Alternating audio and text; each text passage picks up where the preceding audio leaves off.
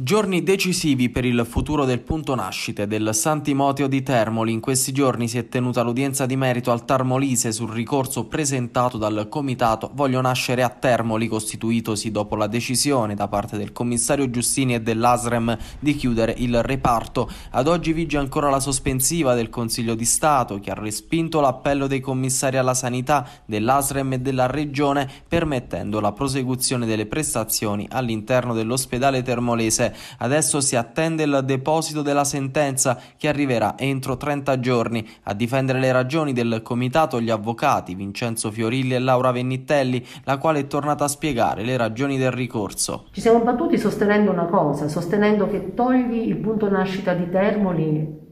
se togli quello non, non, sappiamo dove poter veicolare quelle che sono le nostre donne e soprattutto eh, dove poterle indirizzare nella fase critica che può avere una donna in, in gravidanza.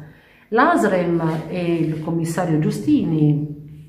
in questo momento, nel, nel, caso del punto nascita di Termoli, sono andati da noi d'accordo e a Barcetto, sostenendo che il punto nascita deve essere chiuso eh, sostenendolo anche nel nuovo piano operativo sanitario, tant'è che la difesa dell'ASREM e del commissario sono che nel nuovo piano operativo sanitario il punto nascita non c'è.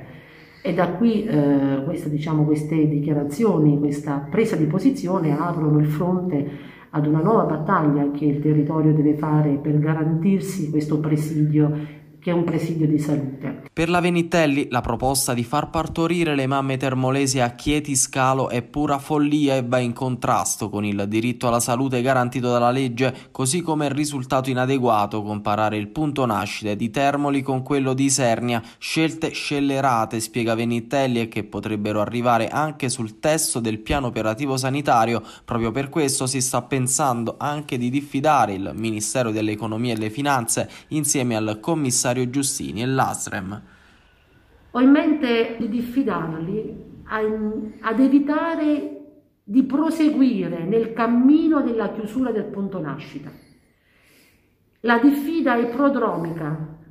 a eventuali azioni giudiziarie di impugnazione del piano operativo sanitario qualora loro dovessero insistere, ma è anche podromica d'azione di responsabilità personale nei confronti di chi metterà in campo un'iniziativa del genere.